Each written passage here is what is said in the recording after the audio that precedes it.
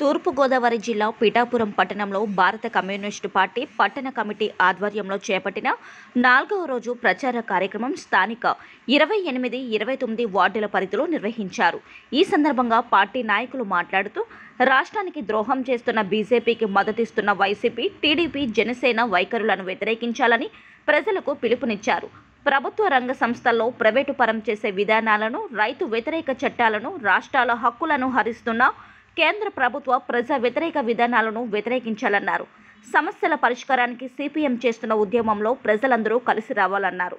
ఈ కార్యక్రమంలో CPM party జిల్లా కమిటీ సభ్యులు కూరకుల సింహాచలం సిపిఎం కోనేటి రాజు కొజ్జావరపు నాగేశ్వరరావు సమర్థకుర్తి శ్రీను ఎదురుపాక రాజు అప్పన్న శ్రీను తదితరులు పాల్గొన్నారు. సిపిఎం ప్రసాద యాత్ర జరుపుతా ఉన్నాం. ఇది ఏడో తారీఖు అంబేద్కర్ సెంటర్లో ప్రారంభించి ఏడు ఎనిమిది తొమ్మిది పది ఇవాళ నాలుగో రోజు కార్యక్రమం జరుగుతూ ఉంది. ముఖ్యంగా ఏంటంటే మోడీ ప్రజా వ్యతిరేక విధానాలు చాలా దారుణంగా ప్రజలపై భారాలు వేస్తూ ఉన్నారు. ఆ భారాలన్నీ కూడా మరి జనం తట్టుకోలేని పరిస్థితి ఉంది. ఈవేళ రేట్లు విపరీతమైన రేట్లు పెరిగిపోతూ ఉన్నాయి. ఈ రేట్లు పెరిగిపోతున్నాయని అడగడానికి ప్రతిపక్ష పార్టీలుగా ఉన్న ఇక్కడ జగన్మోహన్ రెడ్డి కానీ మరి చంద్రబాబు నాయుడు కానీ మరి జనసేన కానీ ఏ ఒక్కరూ కూడా మరి మోడీ ఈ ప్రభుత్వం ఏ విధానాలు నువ్వు ఇలాగే ఉంటే ప్రజలు చాలా ఇబ్బంది పడుతూ ఉన్నారు. కాబట్టి నువ్వు పెరిగిన ధరలు వెంటనే తగ్గించాలని ఒక్క మాట కూడా చెప్పకుండా ఈ రోజు వీళ్ళు దాటేస్తూ ఉన్నారు.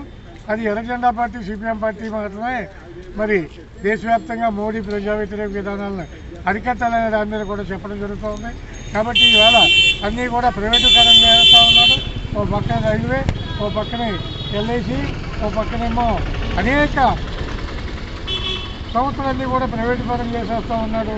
కోట్లాది మంది ఇవాళ కరోనా వచ్చి రోడ్డు మీద పడితే వాళ్ళు పట్టించుకున్న దాఖలాలు అయితే లేవు.